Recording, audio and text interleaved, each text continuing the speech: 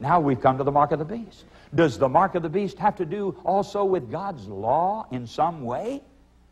Well, let's find out. Let's come back here now to to Revelation 14, verse 9. If any man worship the beast and his image and receive his mark and his forehead or in his hand, the same shall drink of the wine of the wrath of God, which is poured out without mixture into the cup of his indignation. And then look at verse 12, friends. After describing the mark of the beast on the forehead and the hand, he turns and says, Here is the patience of the saints.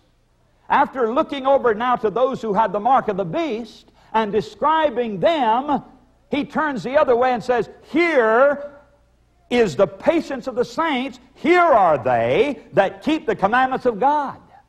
In other words, friends, the ones who had the mark of the beast were not keeping the commandments of God, obviously, because he turns right around to describe his own people, the saints, by saying, Here are they that keep the commandments of God. The others were not the ones with the mark of the beast. So this seems to indicate that the mark of the beast also has something to do with God's law. Well, it probably does because we're talking about two things that are competing with each other. They're in the same arena.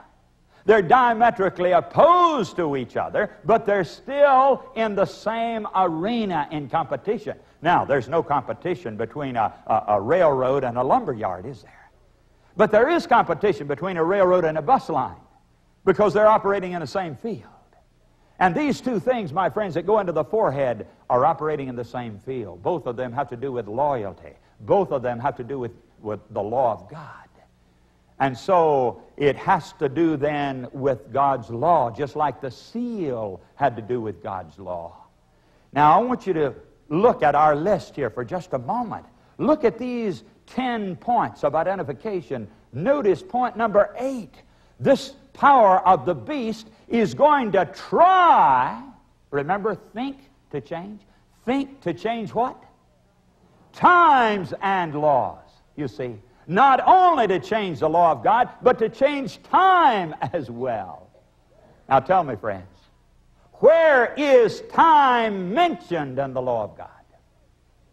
There's only one place that time is mentioned, and that's the fourth commandment. The fourth commandment that says, Remember the Sabbath day to keep it holy. And the prophecy here is that the beast power is going to try to change time in the law. And that means that it's got to try to change the Sabbath commandment as well as the second one. Now we found out that the second one was removed. But now here is the prediction that this power is going to try to change time as well as the law. And that would be tampering with God's seal, wouldn't it? Because we found out that the seal of God, the one commandment in the ten that sets him apart and identifies him as the true God, that's the Sabbath commandment. Well, don't you believe the devil would attack that one, my friends, that God used especially to identify himself and to claim the authority to be worshiped by all men? Don't you believe the devil would attack that one especially? And so the prophet says he's going to try to change God's time in the law. And so he attacked that fourth commandment. What does the fourth commandment say? The seventh day is the Sabbath of the Lord thy God. Well, obviously, he has attacked it and done something to it because today most people don't keep the seventh day Sabbath, do they? No, they don't. Then what happened? How did the devil attack that law and that particular commandment to try to change that particular time that's mentioned in the law? How did it happen? Surely back then, the days of the apostles, they were keeping the seventh day Sabbath. We know that. The Bible makes that very plain. But there were other people, my friends, that were keeping a different day. And that was the pagan sun worshippers. They had their own day, you know. They worshiped the sun god. They were called Mithras back there in those days. And they had their own special day of worship, and they called it the Venerable Day of the Sun. And they worshiped their sun god on that. Millions of those sun worshippers back there worshiped the sun god. And I'll tell you something else. There was a movement that developed after 200 AD. Now, until 200 AD, my friends, nobody kept any day but the seventh day Sabbath. All right? The seventh day Sabbath was observed right down 200 years after Christ. Then, there began a movement to have one day a year to be observed in honor of the resurrection. All right, the Bishop of Rome wanted that day to be Sunday, the first day of the week. And it was to be observed just once during the year in honor of the resurrection. But all the other churches wanted it to come on the 16th of Nisan, which was the actual date in the Hebrew calendar for that, that the event took place. So they wanted to come on the 16th of Nisan, regardless of what day of the week it was, was on. But the Bishop of Rome insisted that it be on a Sunday. And so, 200 years after Christ, the church set up one day a year on a Sunday, which came to be known Easter Sunday, that was to be kept in honor of the resurrection. Had nothing at all to do with the Sabbath. The Sabbath was kept right on anyway. Then time went on, and then Lent was added to the church. You know, the 40 days before Easter. And by the way, that came right in out of paganism. The 40 days of weeping for Tammuz, the, the god of the sun. But it came right into the church. And so the church decided that they wanted to keep every Sunday during that 40 year period. And so they made that rule. See? But still, it had nothing to do with the Sabbath. The seventh day Sabbath continued to be observed right on as it had been by Christian people throughout those early years. Then we come down to the fourth century, 300 years after Christ. And at that time, they decided that they'd just keep every Sunday of the year in honor of the resurrection. Still had nothing to do with the seventh day Sabbath. The Sabbath was observed, the seventh day Sabbath, but they were keeping Sunday also in honor of the resurrection. So down to the third century, my friend, the fourth century, I mean, to 300 AD, the Sabbath was observed, but slowly they came in with this, this Sunday to keep it in honor of the resurrection. But not competing with the Sabbath, they're trying to push the Sabbath aside. Now, what happened in 300? Let me tell you something else very interesting that happened. Constantine was the old pagan, sun worshiping uh, emperor of the Roman Empire, and he was going out to fight a battle, the Battle of Milvian Bridge. And, and on the way, he thought he had a vision and saw a cross, a flaming cross up in the sky, and underneath it said, In this sign conquer. And he thought that meant that he should be a Christian in order to win his battles. So what did he do? He marched his army through a river, and he said, Now you're all Christians. You see, he had the idea that his army also would have to be uh, Christians in order to win the battles. So he marched them through a river and pronounced them all Christian. And he brought in all of these uh, pagans, uh, sun worshiping pagans, into the church. Millions of them came into, at that time into the church. And my friends, Constantine made the first Sunday law. He made a secular law in the Roman Empire requiring everybody to keep the first day of the week instead of the seventh day of the week. And up to that time, they had all kept the Sabbath. He permitted certain occupations like farmers to continue at that time, but then later even that was set aside. And the Catholic Church adopted that. And in one church council after another, it became stronger and stronger that the first day of the week should be kept in place of the seventh. And, uh, and so a tremendous persecution broke out in trying to eliminate the seventh day Sabbath. And friends, that is the way. That is the way Sunday got into church. You say, Brother Joe, I just can't believe that this is the way it happened. And I'm going to prove this to you. I don't want you to take my word tonight for any of this. You can read these things in history. But right now, let me read you a statement or so from uh, this, this first statement I'm going to read you is right out of a very authentic history book. It's Dr. Gilbert Murray, who's a professor of Greek at Oxford University. Now, this man has several doctor's degrees after his name. And this statement is taken from his book, History of Christianity in the Light of Modern Knowledge. He says, Now since Mithras was the, the sun, the unconquered, the religion looked for a king whom it could serve as a representative of Mithras upon earth. The Roman emperor seemed to be clearly indicated as the true king. In sharp contrast to Christianity, Mithraism recognized Caesar as the bearer of divine grace, and its worshippers filled the legions and the civil service. It had so much acceptance that it was able to impose on the Christian world its own Sunday in place of the Sabbath. The sun's birthday, 25th December, is the birthday of Jesus. Now, here's this great Greek scholar who, as far as I know, was not even a Christian, but he's writing a history book. And he says that all of this paganism of Mithraism coming into the church had so much power and so much influence that it was able to impose on the world its own Sunday, its own day of worship, if you please. The venerable day of the sun, when they worship the sun on the first day of the week, it was able to impose that upon the Christian world and also bring in the, its son's birthday, December 25th. And that is actually how it happened. I could read you statement after statement here. Dr. William Frederick says this in his book. He says the Gentiles were an idolatrous people who worshiped the sun.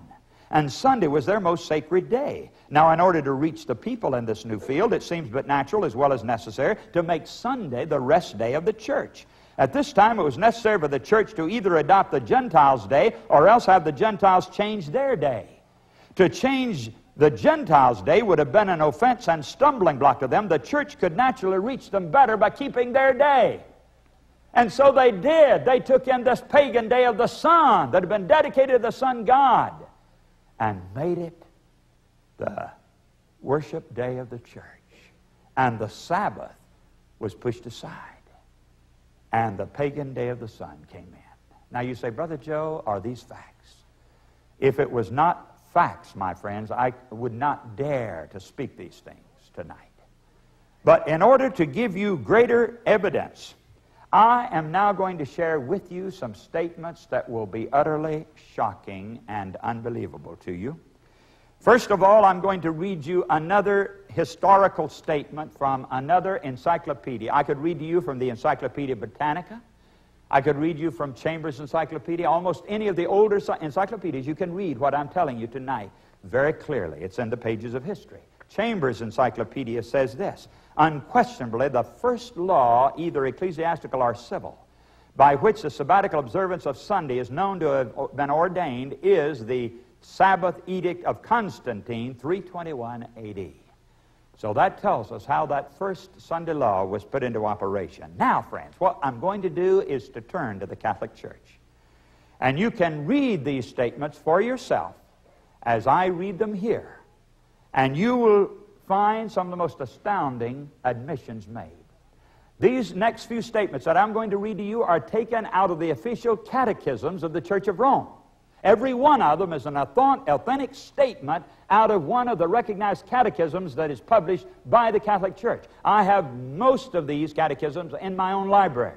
You can check them out in any library you want to, and you'll find them exactly as I'm reading them. The first one is from uh, Peter Geiermann's uh, catechism, the Convert's Catechism of Catholic Doctrine. Question Which day is the Sabbath day? Saturday is the Sabbath day. Question Why do we observe Sunday instead of Saturday? We observe Sunday instead of Saturday because the Catholic Church and the Council of Laodicea transferred the solemnity from Saturday to Sunday. Now, friends, the Catholic Church claims that they made the change. When that pagan day of the sun came in and Constantine made that first secular Sunday law, the church took it up and began to enforce it as a religious day. And so they claim we made the change. And these statements that I'm going to read to you now are the boast of the Catholic Church saying it's our work and we're the ones who made the change. This is from Henry Tuberville's catechism entitled An Abridgment of Christian Doctrine. How do you prove that the church had the power to change feast and holy days? Answer, by the very act of changing Sabbath into Sunday, which Protestants allow of and therefore, they finally contradict themselves by keeping Sunday strictly and breaking most other feasts commanded by the same church. Isn't that interesting? It says that they accept this law that we made about keeping Sunday, but they don't accept the other laws that we made about other feast days. This is a book by Father John Walsh. I have this book in my library. It was published in 1959. And here's what this catechism says. You can probably get this same book in a Catholic bookstore. Question What obligation was imposed on the Israelites by the third commandment of God? Now, they call the third commandment, of course, the Sabbath commandment. Answer The Jews were obliged to devote the Sabbath, the seventh day of the week, to rest and religious observance. Question Does this commandment still remain in force? Answer Yes, it remains as operative today as it was in the time of the Israelites. One day each week must be set aside as sacred to God. But the Catholic Church transferred the observance from the seventh to the first day of the week. That was published in 1959 by the Catholic Church, in which they said, We made the change. And the, the, the, day is now the first day instead of the seventh day because we so command. This is a doctrinal catechism by, by uh, Stephen Keenan. Question Have you any other way of proving that the church has the power to institute festivals of precept? Answer Had she not such power, she could not have done that in which all modern religionists agree with her. Notice that. In which all modern religionists agree with her. She could not have substituted the observance of Sunday, the first day of the week, for the observance of Saturday, the seventh day, a change for which there is no scriptural authority. The Catholic Church says if we didn't have authority and power to change God's law, then we could not have made the change of the Sabbath. And the world would not be keeping the first day if they had not accepted our authority in being able to make changes in God's law. This is another book that I have in my library, published in 1963, entitled Salvation, History, and the Commandments, published and written by a, a, a, a Jesuit priest. Nothing is said in the Bible about the change of the Lord's Day from Saturday to Sunday. We know of the change only from the tradition of the church, a fact handed down to us from the earliest times by the living voice of the church. That is why we find so illogical the attitude of many non Catholics who say they will believe nothing unless they can find it in the Bible and yet will continue to keep Sunday as the Lord's Day on the say so of the Catholic Church. Now, that's in my library, printed in 1963. The Catholic Church says what? We can't understand why Protestants keep, keep, continue to keep Sunday with only the authority of the Catholic Church behind it, nothing in the Bible about it. But they, they keep the day uh, on the say so of the church, and yet they don't keep the other day, uh, festivals of the church. All right, here is another statement from uh, uh, John O'Brien's book, The Credentials of the Catholic Religion. This book is in all Catholic bookstores even today. I saw it not too long ago. You can get this book yourself, and here's what he says. But since Saturday, not Sunday, is specified in the Bible, isn't it curious that non Catholics who profess to take their religion directly from the Bible and not from the church observe Sunday instead of Saturday? Yes, of course it's inconsistent. But this change was made about 15 centuries before Protestantism was born, and by that time the custom was universally observed. They have continued the custom, even though it rests on the authority of the Catholic Church and not upon an explicit text in the Bible that observance remains as a reminder of the mother church from which the non Catholic sects broke away. Like a boy running away from home, but still carrying in his pocket a picture of his mother uh, or a lock of her hair. I thought that was really interesting. The Protestants are keeping Sunday because they've run away from the Catholic Church. They've broken away from the Catholic Church, but they've taken along a little reminder of the Catholic Church by taking Sunday with them, because that's something that we set up for them, and they took it along with them, and it reminds them of the Catholic Church from which they broke away. From the Catholic Press newspaper, Sunday is a Catholic institution, and its claims to observance can be defended only on Catholic principles. From the beginning to the end of Scripture, there is not a single passage that warrants a transfer of weekly public worship from the last day of the week to the first. Now, here is something I really want you to pay special attention to. This is a, a letter that was written by Cardinal Gibbons in response to a letter that came to him asking if the Catholic Church claimed the change of the Sabbath as her mark. Now, this is the letter that went to them, asking if, they, if that was their mark. And here's the answer he wrote back.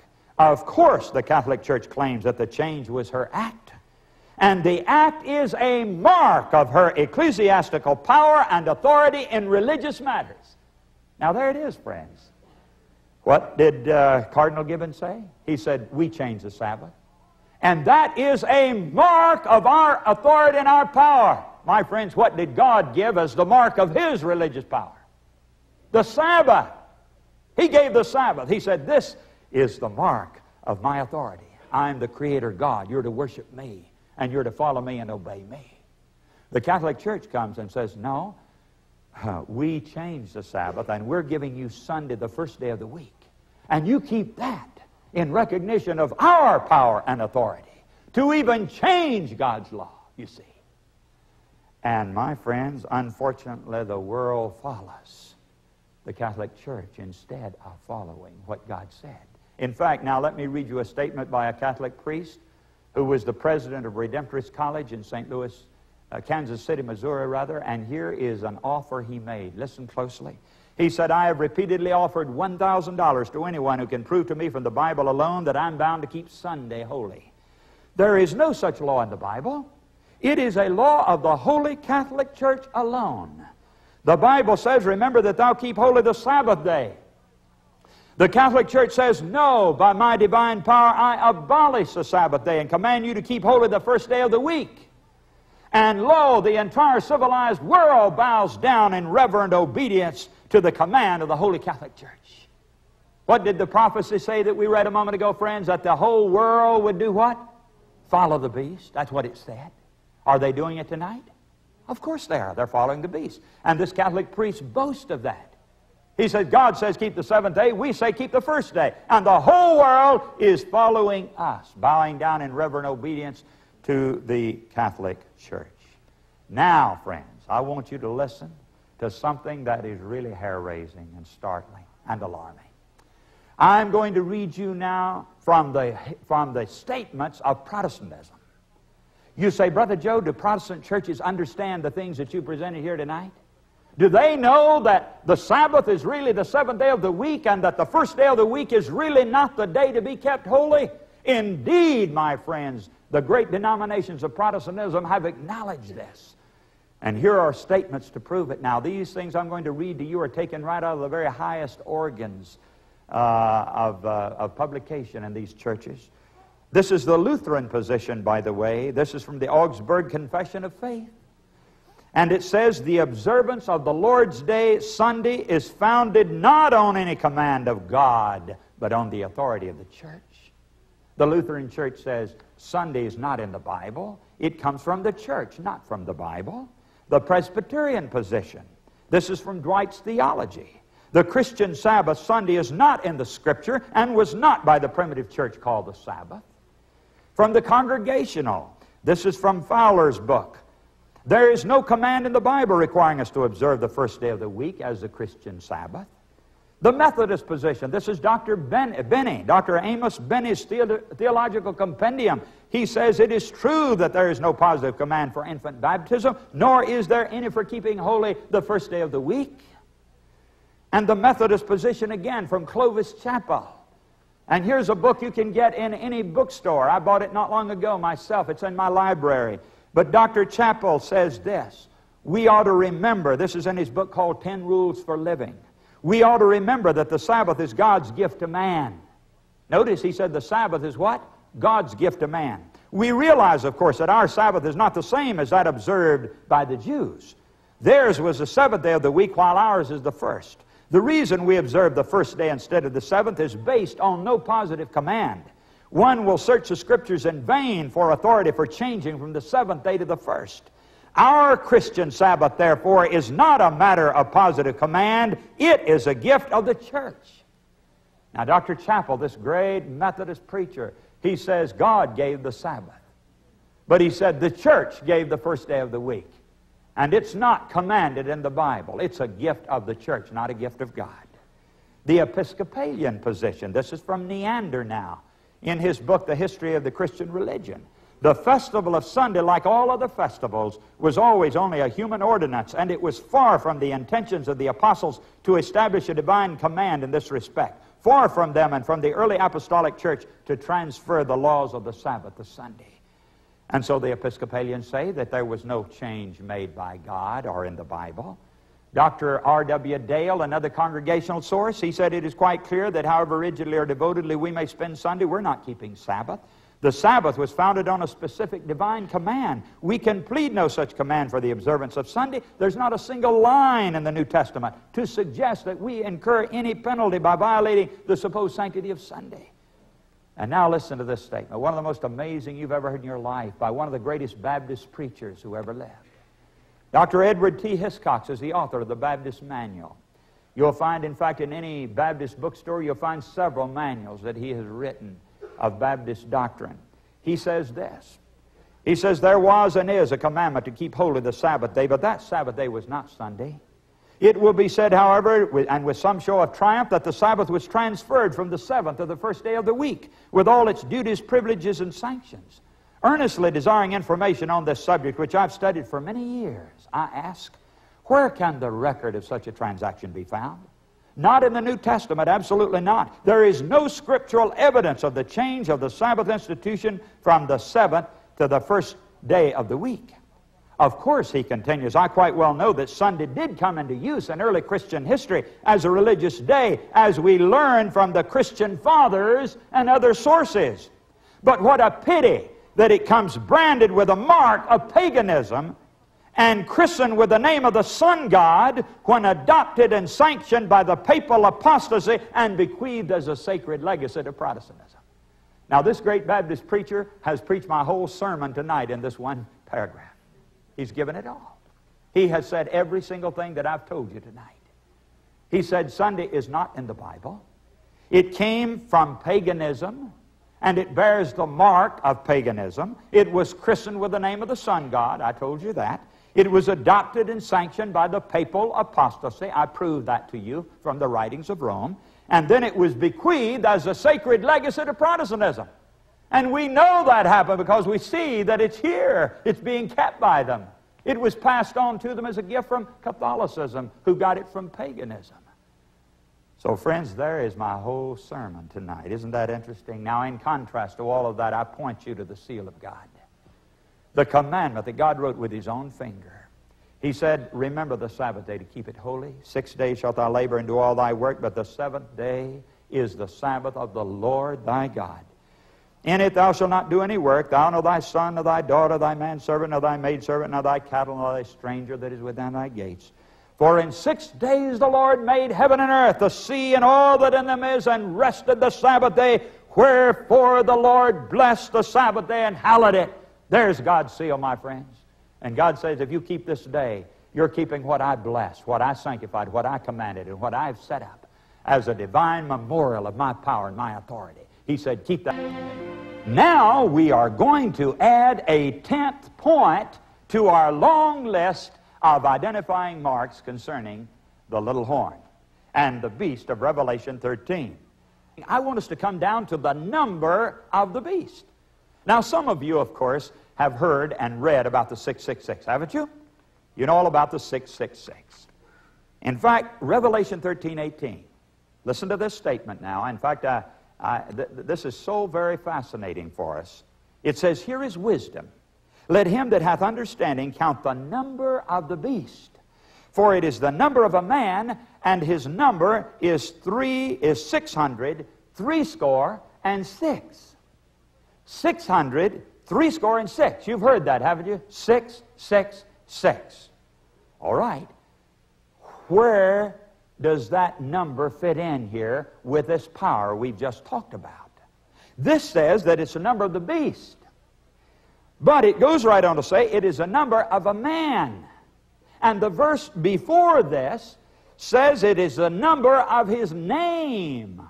All right, that's verse 17. Verse 17 says it's a number of his name. Verse 18 says it's a number of the beast, and it's a number of a man.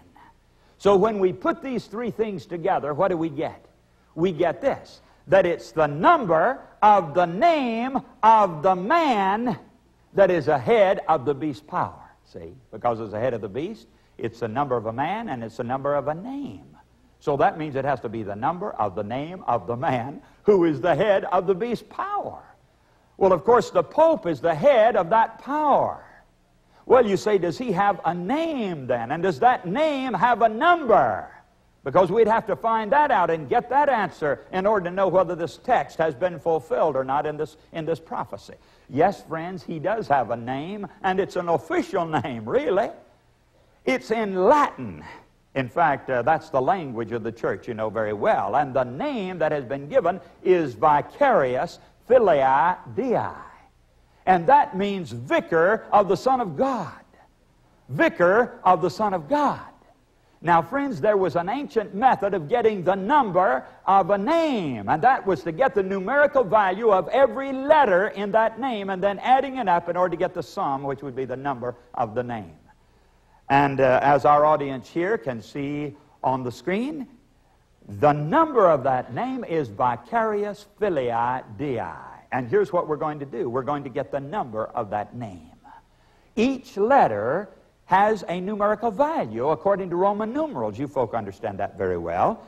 And so V, Vicarius, is spelled V I C A R I U S.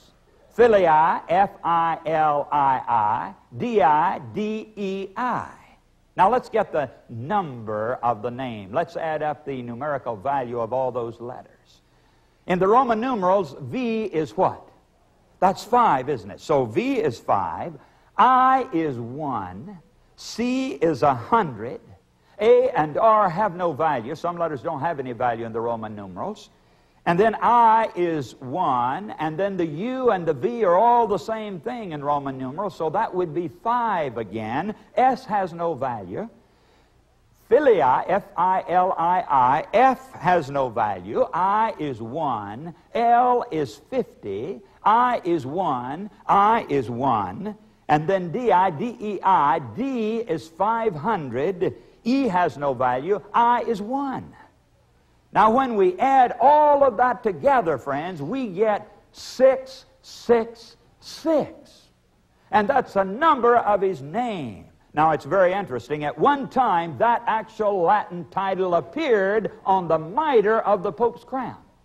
It is no longer there, but every time a new pope is coronated, those words are spoken. vicarius filii Dei, which means vicar or representative of the Son of God on earth. And so the official name, then, we found the number of it 666. You might say, well, Brother Joe, you know, maybe your name or my name might accidentally come out to be that if we added up the, the numerical value of the letters. Yes, that is altogether possible, friends. And that's why I only add this as a tenth point of identity down here at the end of our other nine points. You see? If we only had that one point, we wouldn't even use it. It might be indeed a coincidence. But it's almost as though we had everything else about this power, and now we get the final uh, crowning climax of evidence. It's almost like you're looking for a house on a certain street. You know the name of the street, you know the color of the house, you know the kind of roof it has, and the kind of windows it has, but then somebody gives you the number of the house. And that pins it down finally. You really know then exactly what, where the house is. And so what we've added here is a great uh, crowning bit of evidence, my friends, that shows that we're right as we have put these points before you concerning the identity of this beast and the little horn power. Now, friends, we're going to do something very, very interesting. We're going to turn to look at our beast for a moment. Please notice something here interesting. Look at the beast. Do you notice the combination? It has the body of the leopard, the feet of the bear, the mouth, and the heads and the crowns and so forth here. This beast, which we have now identified without any question, I don't believe anybody can say, well, Brother Joe, you've, you've not really proven that point. These points over here prove without question that this is indeed the papacy. Now, Notice this beast is made up of the four beasts of Daniel 7. It has the body of the leopard beast, the feet of the bear, the mouth of the lion, and the ten horns of the fourth beast. Why does God represent this modern religious system that we have clearly identified tonight as the papacy? Why does God represent that as being made up of these old pagan kingdoms of Babylon, Medo Persia, Greece, and Rome? I'll tell you why, friends, because when it was formed, it drew much of its doctrine and philosophy and teaching out of paganism. And we've given some examples of that already in the past messages.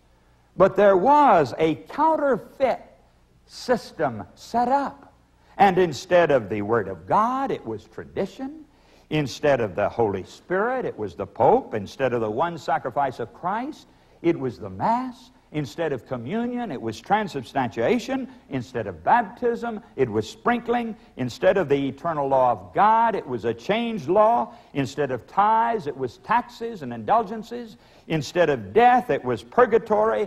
Instead of the seal of God, it was the mark of the beast. Now, we're not going to deal with all of those counterfeits here today. We're only going to look at that last one, the seal of God and the mark of the beast because these two things are in competition with each other according to the Bible. So let's turn now and think of this for a moment. The mark of the beast, what is it? Well, friends, it is something opposed to the seal of God. Did you know in the book of Revelation that two things are spoken of as going into the forehead? You know, of course, that the mark of the beast goes on the forehead. We read that a moment ago. In, in Revelation 14, 9 and 10, in fact, maybe we'll just drop back there quickly to point this out once more, the text that we opened with today. But it says, If any man worship the beast and receive his mark in his forehead or in his hand. Now, here is a mark of loyalty and allegiance to the beast power.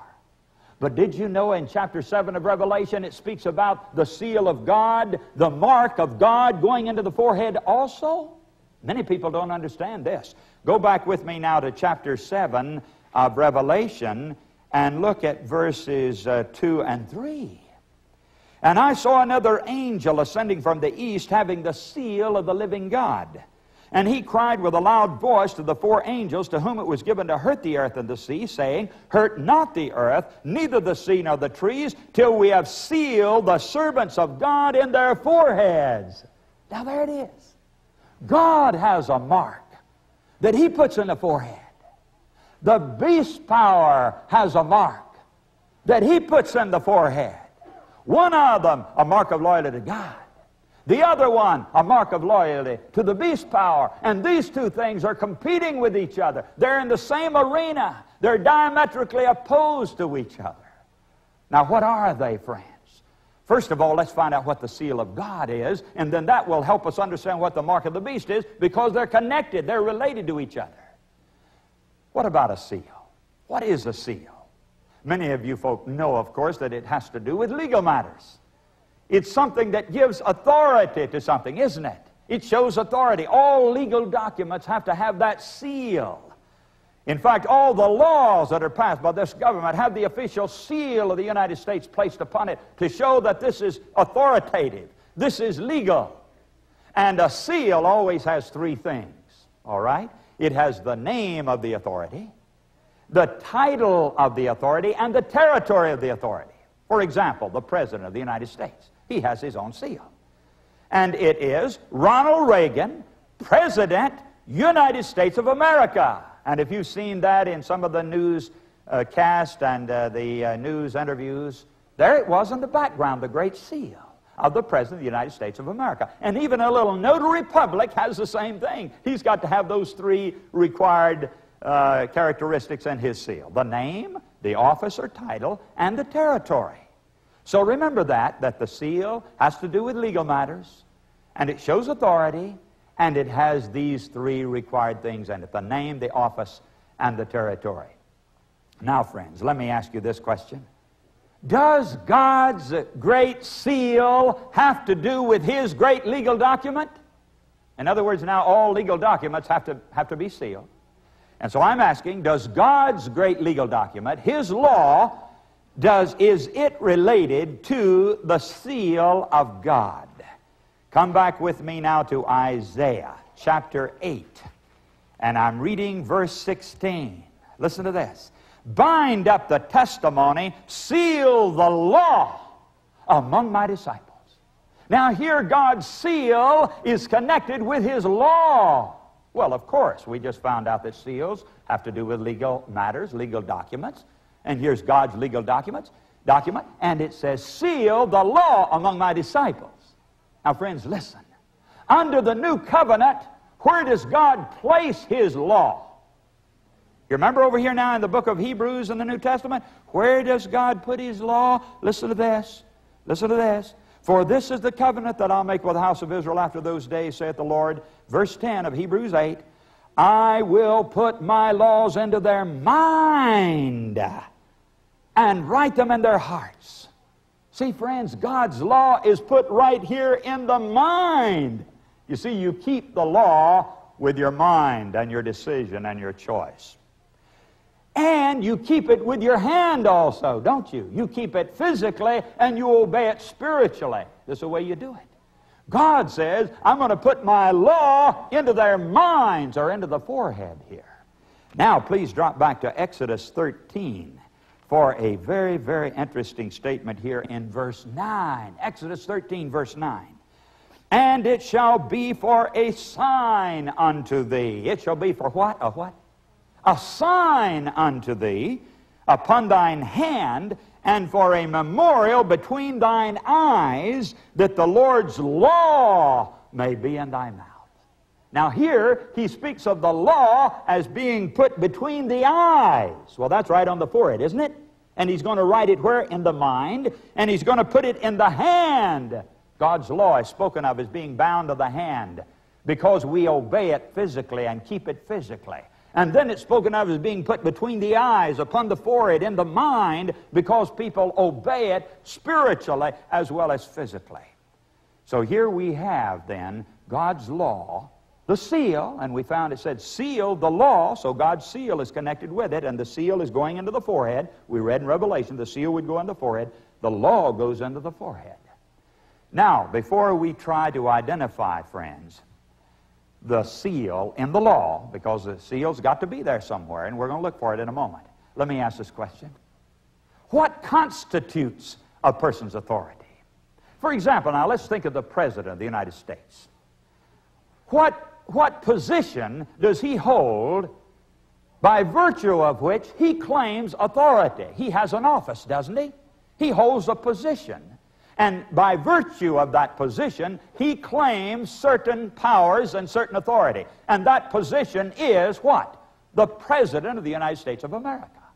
And by virtue of that, he claims the authority that is vested in him. All right, now we need to understand that very, very closely. Now, if God has a seal, what is his position? What is his office, if you please, by virtue of which he claims authority over the earth? Why, friends, he's the creator, isn't he? He's the creator God. And all through the Bible, God makes the special claim.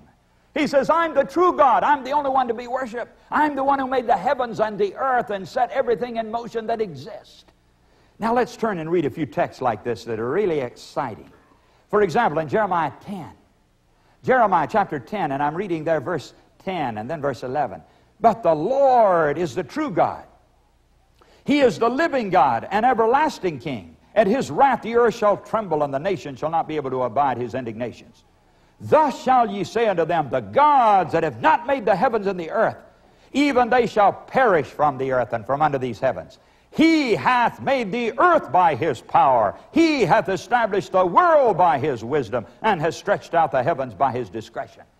Now he compares himself or contrasts himself with the other gods. He said, The gods that have not made the heavens and the earth, they're nothing. They're idols. But I'm the creator God. I'm the one to be worshiped. And this distinguishes me and sets me apart as the only one to be worshiped. Come back into the book of Isaiah now, chapter 40. And we notice there very similar claims that God makes. Chapter 40 of Isaiah, and then verses 25 and 26 and 28. To whom then will ye liken me, or shall I be equal, saith the Holy One? Lift up your eyes on high, and behold, who hath created these things, that bringeth out their host by number? Verse 28 Hast thou not known, hast thou not heard that the everlasting God, the Lord, the creator of the ends of the earth, fainteth not? Oh, he said, I'm the one that rules the universe. I'm the one who has power and authority over the universe because I have made it and I'm not to be compared with any other. I'm not equal to any other because I have made all of these things. And then we turn the page there to chapter 42 of Isaiah. Thus, and verse 5, Thus saith God the Lord, He that created the heavens and stretched them out, He that spread forth the earth, and that which cometh out of it, He that giveth breath unto the people upon it, and spirit to them that walk therein. And verse 8, I'm the Lord, that is my name, and my glory will I not give to another. And then coming on down to chapter 40, uh, 44 and verse 6, uh, or rather, uh, let's come down to, to verse 24.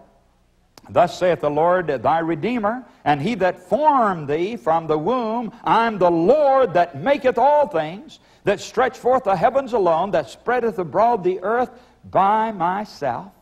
And Isaiah 45, verse 12, I have made the earth and created man upon it. I, even my hands, have stretched out the heavens, and all their host have I commanded. So over and over again, God says, I'm the true God. You're to worship me because I made everything that was made. Look at Psalm 90, 90, uh, uh, 96. Psalms 96 and verse 5. For all the gods of the nations are idols, but the Lord made the heavens. You get that again? He's comparing himself now or contrasting himself with the idols. He says, I made the heavens and all the other gods, they're idols. And then one more text here. Come to Revelation 4 and verse 11. Revelation 4:11 Thou art worthy, O Lord, to receive glory and honor and power, for thou hast created all things. Now listen, what makes God worthy of honor, my friends, to be worshiped and to be acknowledged and recognized? He's the creator God. He made us. He gave life to everything. Not any other God has been able to do that. And so God boasts of that. These are His divine credentials. He said, I've done this. The other gods cannot do this at all. I'm the one to be worshiped. Now, friends, listen. After He made the heavens and the earth, what sign did He give the world as evidence that he was the creator alone. What did he set up as a memorial or a divine reminder of his power as the creator of the heavens and the earth? Well, you know that in, Revel- in Genesis 2 and verses 1, 2, and 3. Listen. Thus the heavens and the earth were finished, and all the host of them. And on the seventh day, God ended his work which he had made, and he rested on the seventh day from all his work which he had made. And God blessed the seventh day and sanctified it because that in it he had rested from all his work which God created and made. Listen, he gave the Sabbath as a great sign of his creative power. He said every time the seventh day comes around in every city and village and hamlet in the world, as the seventh day Sabbath travels around the world and comes to every town and every city, it will remind the, the world, he said, that I'm the Creator God. I'm giving you the Sabbath so that you will always remember. Remember, I'm the one to be worshiped. I'm the one who made everything and everybody. And the Sabbath will be my sign. And when you keep the Sabbath, you will know that I'm the only God to be recognized and to be worshiped. What a tremendous thing, friends. now, with this little background, folks, let me ask the question where do we find God's seal in His law? Now remember, it has to be connected with His law. We read a moment ago in Isaiah, seal the law among my disciples. So the seal is connected with the law, and it has to be something that is His signature. It gives credentials to Him, it gives authority to Him. Come with me now to the Ten Commandments as they're written in Exodus 20. Exodus chapter 20. And we're going to read here now, beginning in verse, uh, in verse 3. This is the first commandment of the ten. And here's what it says Thou shalt have no other gods before me. Now, what are we looking for, friends? What are the three things in a seal that makes it authentic? The name, the office, and the territory. Three things. And that's a requirement for a true seal. Now, we don't find his name or his office or his territory in the first commandment. So let's go to the next one. Thou shalt not make unto thee any graven image or any likeness of anything that's in heaven above or in the earth beneath or in the water under the earth. Thou shalt not bow down thyself to them nor serve them, for I, the Lord thy God, am a jealous God. Now here you have his name, but you don't have his office or his territory. So we move on to the third commandment. Thou shalt not take the name of the Lord thy God in vain. For the Lord will not hold him guiltless that taketh his name in vain. Now, here we have his name given to us again, but not his title or his territory. So we move to the next commandment. Verse 8 Remember the Sabbath day to keep it holy. Six days shalt thou labor and do all thy work, but the seventh day is the Sabbath of the Lord thy God. In it thou shalt not do any work, thou nor thy son, nor thy daughter, thy manservant, nor thy maidservant, nor thy cattle, nor thy stranger that is within thy gates. For in six days the Lord made heaven and earth, the sea, and all that in them. Friends, here it is. Right in the very heart of God's great moral law, He puts the three things that constitute a seal. His name is here. His title or office is here. The maker, the creator. and his territories here, the heavens, the earth, the sea, and all that in them is. In other words, actually, friends, God adds his signature here to his law. Without this fourth commandment, any other God could come along and say, Well, that's my law. I believe the same thing. That's describing me. I'm the author of that law. But God said, No, I'm going to put my signature in there that will set me apart as the only one who can be recognized as the, as the giver of that law. He said, There in the fourth commandment, I am the creator of the heavens and the earth and everything that was made. And I'm the only God that meets this, uh, this description. And so, friends, there is God's seal. That's what shows his authority. That's what puts him in a position, my friends, of power and of authority and of recognition by all mankind. He is the true God. And so the seal of God, then, friends, is the Sabbath. The Sabbath. The only commandment that has it. Seal the law among my disciples. Now you may say, well, Brother Joe, is there any other text in the Bible that would indicate that the Sabbath is God's seal? Yes, turn with me now to the book of Ezekiel. Ezekiel chapter 20. Ezekiel chapter 20, and I'm reading verse 12. Moreover, also, I gave them my Sabbaths to be a sign between me and them, that they might know that I'm the Lord that sanctify them. Now, here's something interesting. God calls the Sabbath here his sign. Well, you say, Brother Joe, that's not, that's not seal. That's not the same as a seal. But, folks, it really is. You see, these words sign and seal are used interchangeably in the Bible. Did you know that? Come with me to Romans 4 now, verse 11, and let's read the text that proves this. Romans 4, verse 11. And he received a sign of circumcision, a seal of the righteousness of the faith which he had. Notice that sign and seal are the same thing. They're used interchangeably in the Bible. And so when God said the Sabbath is my sign, he was really saying the Sabbath is my seal. And it's the only one of the commandments that has the three required characteristics of a true seal. And it's used in connection with his law, his great legal document, and it shows that he is the only authority.